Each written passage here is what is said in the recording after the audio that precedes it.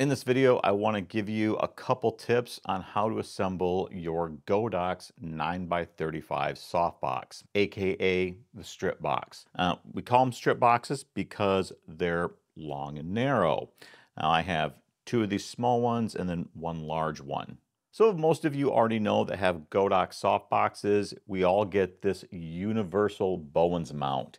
It's not made for any particular softbox. The challenge is knowing which one of these holes to put the support rods into. All right, that part is not always clear. So what I'm going to share with you are the holes that I believe line up well with the shape of this particular softbox. So when you look at one of these, there's a little numbering schema on these.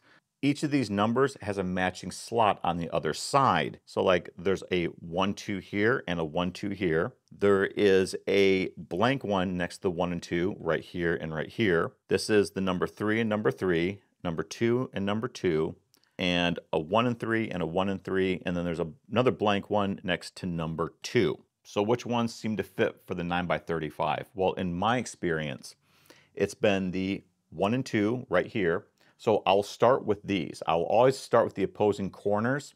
And for me, that's what's worked out the best.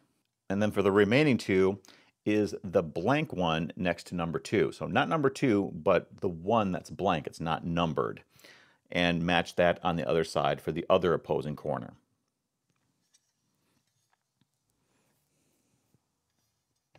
So that's the first tip. That's the number mapping that I use for this particular softbox. Now, do I remember the number mapping for all my softboxes? No, never. So my solution is to mark my Bowens mounts. If I open this one up right here, if you look carefully on the inside here, you'll see that I've marked the Bowens mount with masking tape.